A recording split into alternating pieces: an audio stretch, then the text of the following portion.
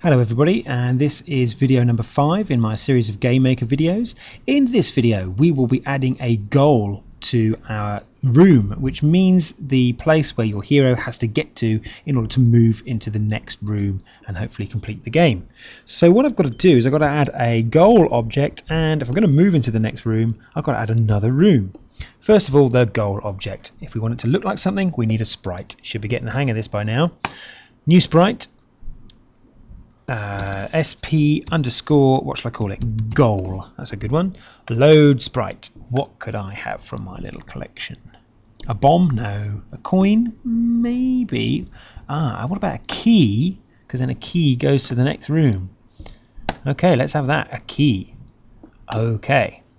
Now I've got a sprite for my goal. I now need a object for my goal. So this is going to be ob underscore goal. The sprite is going to be the key.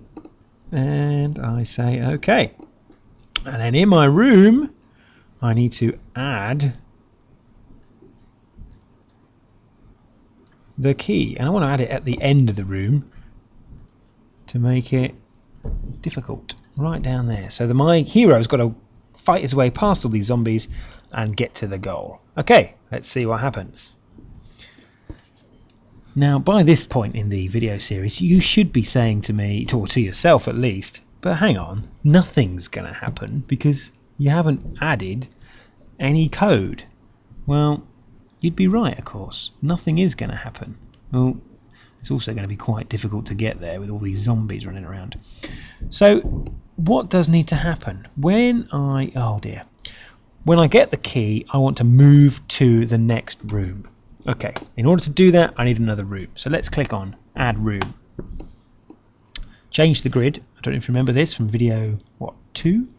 Change the grid to 32 and change my object to wall. Let's draw some walls. Da da da da, da da da, da. go across. Da da da, da da da da da.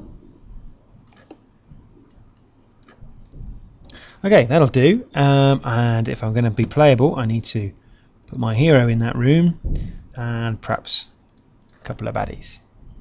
Okay, so that's room number two, although it's actually called room one because we start on room zero. And the rooms appear in the order that they are listed.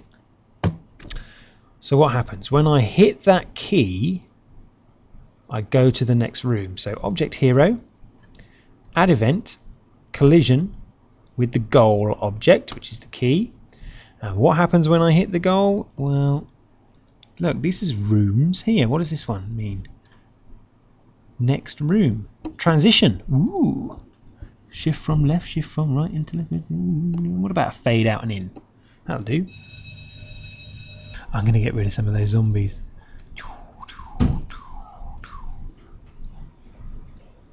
Let's do it again.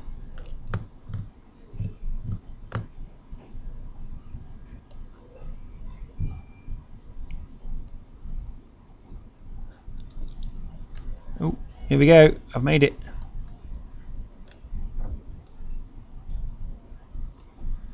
Right. Should, will I go to the next room? Let's see.